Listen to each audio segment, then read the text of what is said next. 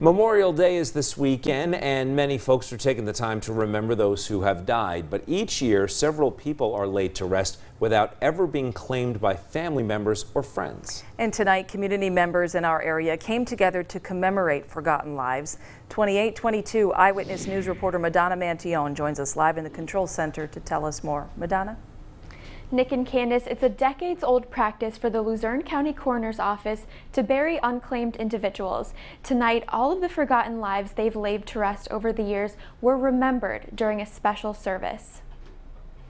May they rest in peace and may they never be forgotten. A wreath was placed over unmarked graves Wednesday at Maple Hill Cemetery in Hanover Township. It's the section of the cemetery where unclaimed people are laid to rest by the Luzerne County Coroner's Office. Unfortunately, we've seen an increase in that trend, and we're now averaging about uh, 25 30 plus per year. These include people who are unidentified or passed away without any known family members or friends. To honor all the lives who are buried over the years, the coroner's office hosted a special memorial service. But this ceremony was here today to put some meaning to their burial. The solemn gathering included scripture readings and a blessing of the grave sites with holy water. Death is a difficult thing.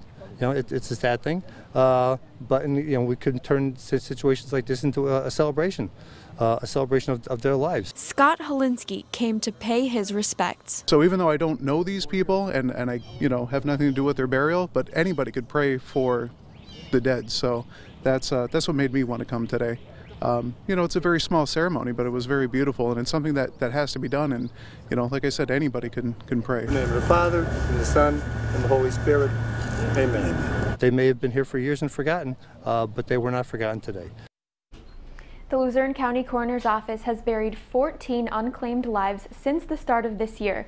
The memorial service is set to become an annual tradition. Nick and Candace, back to you. Thank you, Madonna.